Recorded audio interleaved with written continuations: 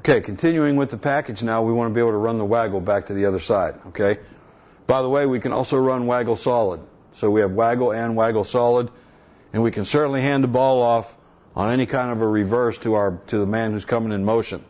But the next play in this package now, we would call zip, loose, 121 waggle.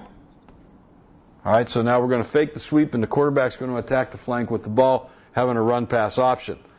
Okay, so we still block the waggle the same way. All right, so the fullback is again still a blocker if the linebacker comes. If not, he's out in the flat. Our split end, his job is to get deep on the numbers just like before, unless we call an individual cut. If we said waggle out or waggle curl, then he'd run the individual cut. But if we just say waggle, he goes deep, he gets deep on the numbers, forces the outside release on any rolled up corner. The quarterback fakes the sweep to the halfback.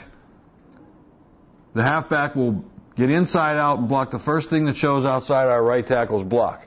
He gears down when he passes the quarterback. If nobody shows, he goes ahead and runs a flare over here to the weak side. Now the quarterback's attacking the flank on a run pass option. All right, we set our tight ends in full speed motion now.